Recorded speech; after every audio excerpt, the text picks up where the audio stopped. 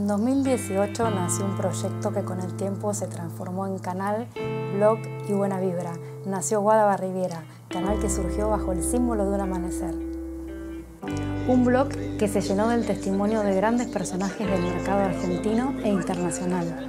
La experiencia, el ensayo y error en primera persona, la historia viva, el pragmatismo, la renovación generacional, a todo se le dio espacio para ser expuesto en sencillas líneas y de boca de sus actores.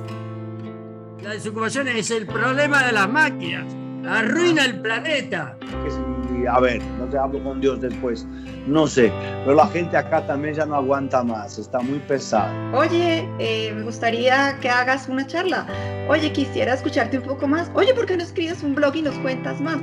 Perder plata está bien, es parte de lo que nosotros hacemos. Hay días que ganamos, hay días que perdemos. Lo que no está bien es pasarse de los límites o esconder una pérdida. A mí me escriben casi que todas las semanas y me dicen, pero Alberto, ¿qué estás haciendo tú en Venezuela? estoy acá solo con la escoba, con el trapo de piso.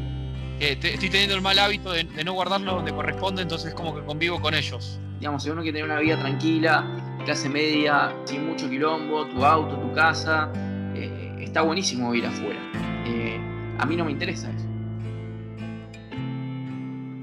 Este 2024 arrancó con muchos cambios y proyectos nuevos pero otros que venían en marcha por fin evolucionan. Por eso, el equipo de Guada Barriera presenta hoy Bueno por Conocer, una nueva idea bajo el mismo concepto, el foco en el factor humano de la economía.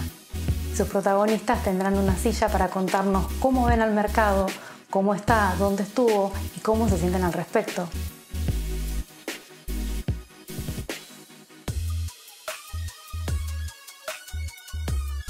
Soy Guada Barriviere y los invito para que se integren bajo un nuevo signo, el de la voz viva del presente. Marquen la campanita para estar al tanto de las publicaciones y síganme en mis redes sociales.